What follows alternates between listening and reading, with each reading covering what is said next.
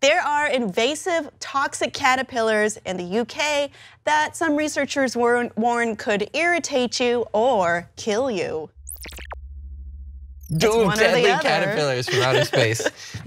No, they're from here, Yeah. but not from the UK itself. Uh, they're called, well, it's the caterpillar of the oak processionary moth. Right. So it will turn into what we assume to be a venomoth like Venom off, creature. yeah.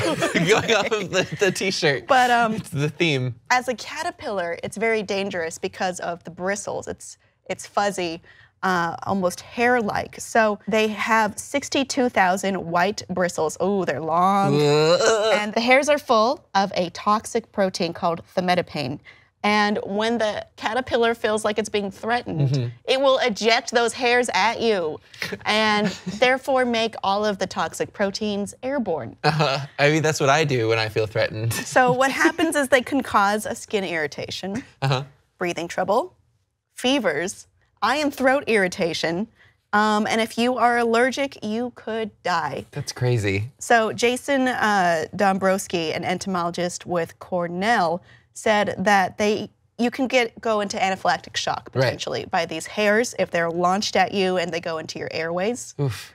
Um, yeah, so it's it's not so much you know touching it; it could right. make itself part of you even. Well, and that what I'd be worried about specifically is like kids, because especially Oh, as a kid, know. they like you don't know, and like a fuzzy caterpillar is like what you want to touch and play with, and you know mess with, and so I think that's that's one of the biggest dangers that we have or they have facing them. Well, it's just such a surprise because you don't expect that to happen. Yeah. Those 62,000 bristles could be launched. They could go anywhere under your face or your skin.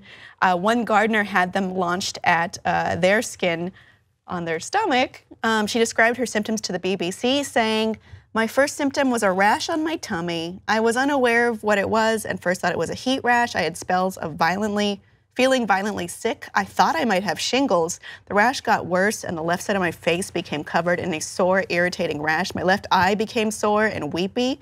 I contacted my doctor and confirmed I was severely affected by OPM, oak processionary moth, and must keep away from the source as over time I had developed a severe allergic reaction. That's just like a warning for topless gardening. Like, don't do it. like, keep your shirts on. That's true. It was on her stuff. Well, she could have been wearing like a, a midriff top. yeah, Like I'm a cute gardener. a skimpy, just two piece. Well, you know, it's, you got to be careful with those moths, Yeah. or rather the caterpillar of these moths. Right. I don't think the moth would have the same kind of danger. That's what I was just because wondering. they can't launch the bristles anymore. Right, but do they have like poison dust? Like, is this something that I have to go? That and- sounds like a Pokemon. It does. It is.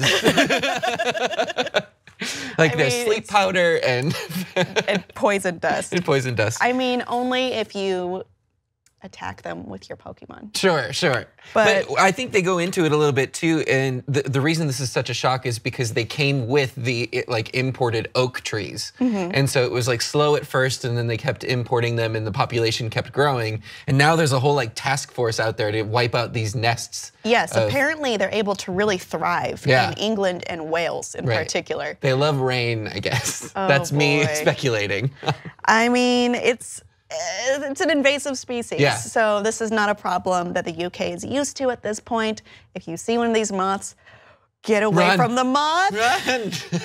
well, not Yeah. only that, where the oaks had come from, there was like the whole ecosystem that was kind of keeping them in check. Mm. So without that, when they transplanted literally these trees, like there was nothing to keep these these in check. So it's a situation of do we bring the other species over there too to kind of mitigate that? But then you have a whole other. Then you have a lady I've seen this the fly Simpsons episode. situation. Yeah. or the gorillas come and eat the snakes, and you have gorillas on your hands. Poisonous, toxic gorillas with poison dust. Another, it's Pokemon. It's worrisome, but I think it's doable. Yeah. Audience, have you ever had a surprise allergic reaction and what happened? Please let us know on Facebook and Twitter.